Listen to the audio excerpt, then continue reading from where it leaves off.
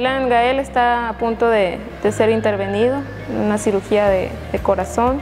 A mi bebé le diagnosticaron PCA, le llaman los doctores. Es un conducto abierto, es una arteria abierta de su corazoncito. En vez de tenerla cerrada, está unos milímetros abierta.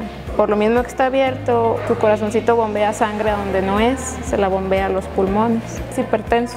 Mi, niño. Eso le hace daño en, pues, en toda su salud, en todo su cuerpo, o sea, se enferma muy seguido, este, se cansa hasta para hacer sus necesidades. Se asusta uno muy feo y se te viene todo encima, todos los pensamientos.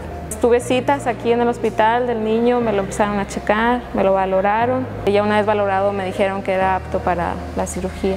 Un gran agradecimiento porque en realidad no saben el cambio que hacen en las familias, el alivio que la siento uno como mamá saber que hay programas como estos que nos ayudan en todo y a todo el personal que pues en sus manos ponemos la vida de nuestros hijos.